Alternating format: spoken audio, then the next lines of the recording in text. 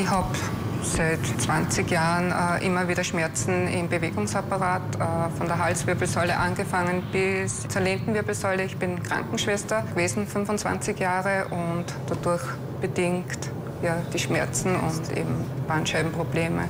Ich habe immer wieder Therapien gemacht, äh, Massagen, Physiotherapie und es sind halt irgendwo dann die Grenzen, die aufgezeigt werden. Über bestimmte Beweglichkeit bin ich dann nie drüber gekommen. Und es treten dann aber auch immer wieder Schmerzen auf. Roswitha Resch hat sich daher entschlossen, den sogenannten Geistheiler und Energetiker Wolfgang Müller in Niederösterreich aufzusuchen.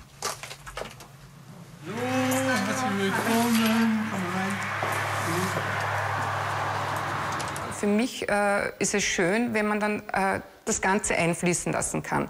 Und wenn man auch diese energetische Arbeit dazu nimmt, um wirklich äh, für den Patienten, Klienten das Bestmögliche zu schaffen.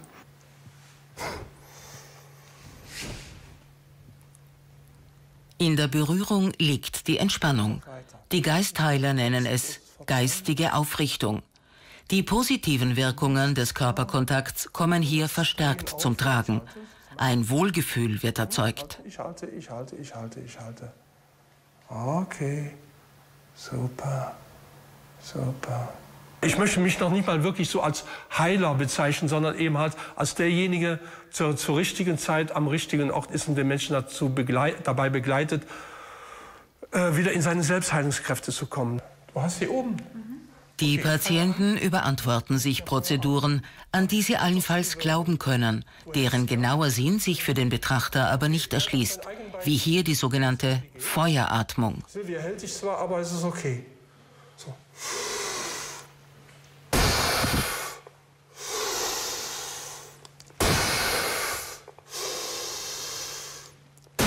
Ich gehe links und rechts neben den äh, Wirbeln und benutze meine Finger als ähm, Laserstrahlen.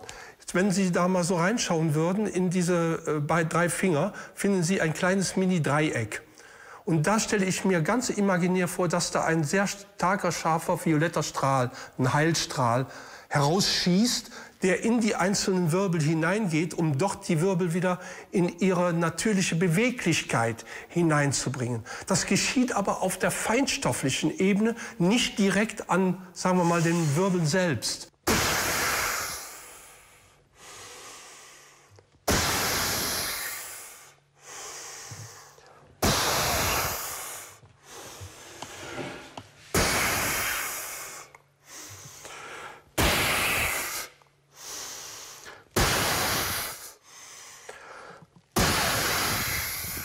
Man kann sich das so vorstellen, man verspürt eine unheimliche Hitze im Körper. Also bei mir ist es so, dass ich sehr stark reagiere auf das.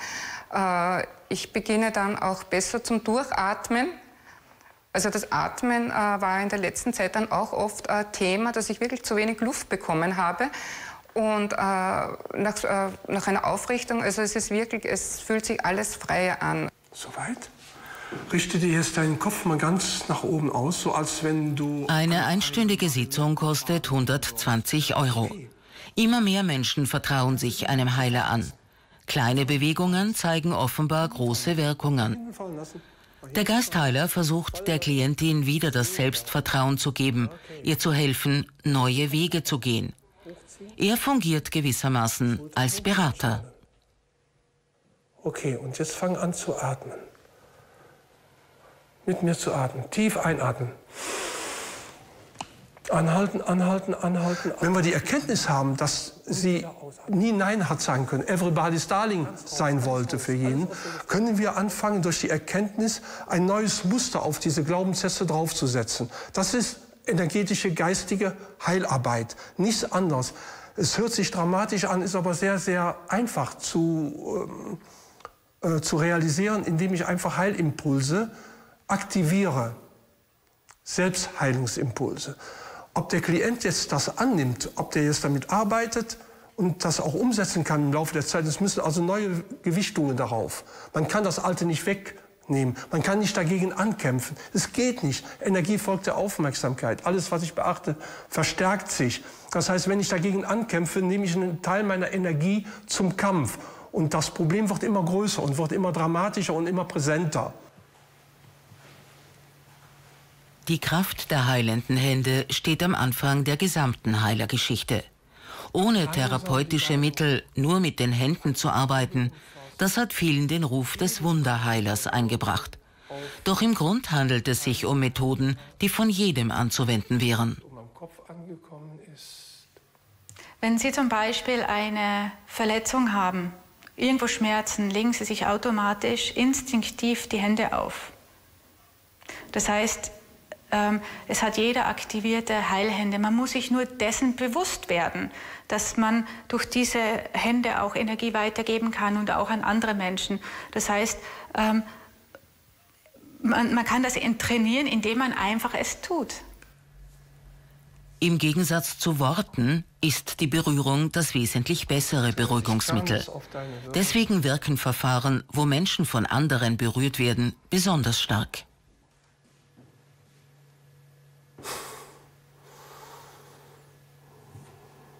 Es ist nur eine Fokussierung auf eine, eine universelle Energie, die durch uns sowieso durchfließt. Jeder Physiker sagt, Energie ist unkaputtbar, wenn ich mal den Begriff verwenden kann. Energie ist immer da, nur die wandelt sich entsprechend um. Und so kann ich ähm, die Heilkraft, ganz einfach Kraft meiner Intuition lenken und die Hände lenken. Für den Betroffenen gilt noch immer, wer heilt, hat Recht. Der Glaube an die eigenen Selbstheilungskräfte ist quer durch alle Formen der Medizin eine Voraussetzung, um gesund zu werden. Die Macht der Heiler scheint vor allem darin zu liegen, diesen Glauben im Patienten zu wecken, wenn auch zum Teil durch Methoden, zu denen der Verstand keinen Zugang findet.